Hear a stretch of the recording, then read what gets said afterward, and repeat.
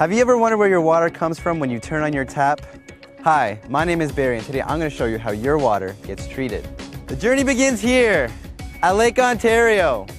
An intake pipe big enough to drive a car through extends two kilometers offshore and lies at the bottom of Lake Ontario, 10 meters deep. The end of this pipe is covered by a screen to prevent large pieces of debris from entering the water treatment facility. Let's go there now. We're now at the facility and I'm going to show you each step of the water treatment process. Here's where water first enters the facility. Every day we can process up to 820 million liters of water. That can fill up to 330 Olympic-sized swimming pools. Once inside the facility, the water flows through these traveling screens, where a copper mesh prevents smaller items like fish and plant life from entering.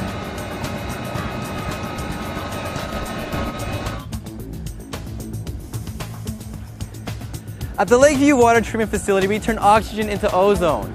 But first, we have to get the oxygen to our facility. The easiest way to transport oxygen is in liquid form.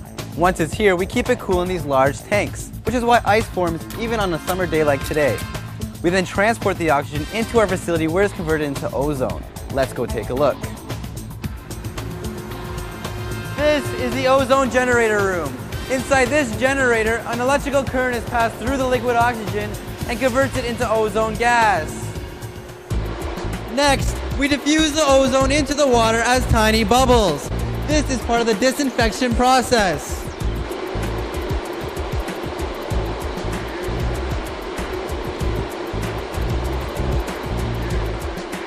The ozonated water remains in these large concrete tanks for 30 minutes before we add sodium bisulfate to quench or remove the ozone before the water moves on to the next step. This makes up the first step of the disinfection process. We'll now look at the next step in water treatment. The disinfected water flows from the ozone contactors to our biologically activated carbon contactors. Here, the water flows in from the top and filters through tiny pieces of carbon which have been heat treated and resemble the carbon found in a home water filter. Harmless bacteria live in the crevices of these tiny carbon pieces. These bacteria consume the organic material broken up by the disinfection process. This step helps to remove a lot of the bad taste and odor from the water. These tanks are 5 meters deep with over 3 meters of biologically activated carbon at the bottom. Every 5 to 7 days, these tanks are backwashed. Clean air and water are forced backwards through the system to break up and flush out anything stuck in the carbon. Next, we'll look at the ultrafiltration membrane process. The water flows from the biologically activated carbon contactors to a series of filter membrane units. The units are made up of tiny membrane fibers like this. This is a model of a membrane fiber. A fiber is a tiny tube with millions of microscopic holes on the outside. We draw water into the tube using vacuum pressure. The holes are so small that only water can pass through and pathogens, bacteria, and particles are left on the outside. To filter the water on a large scale, we have 12 membrane trains, each holding 55,000 liters of water. Each train has 672 modules. That equals over 282 million membrane fibers. We lifted the cassette from the train, so now we can see the fibers are grouped into modules. Each module is made up of 35,000 fibers. Now the water is clean and almost ready for distribution.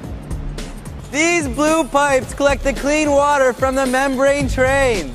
Before the water heads out to our reservoir, we add a small amount of chlorine to keep the water clean and disinfected as it heads over to your tap. We also add a small amount of fluoride to help promote dental health. As we prepare the water to leave the facility, we constantly monitor its quality to ensure that it meets the Ministry of the Environment's stringent water quality standards. We also test the water manually four times a day for over 100 different parameters. And back here in the control rooms, our operators monitor the entire facility and each stage of the water treatment process.